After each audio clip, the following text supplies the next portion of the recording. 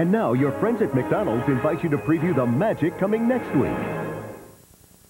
Next Sunday, hit the deck. Robin Williams blows the scientific world away when he makes Flubber! This definitely has applications in the field of sport. Robin Williams makes one small mistake Sorry, first time flyer. and one giant flub. Robin Williams in the network television premiere of Flubber, ABC next Sunday at 7, 6 Central.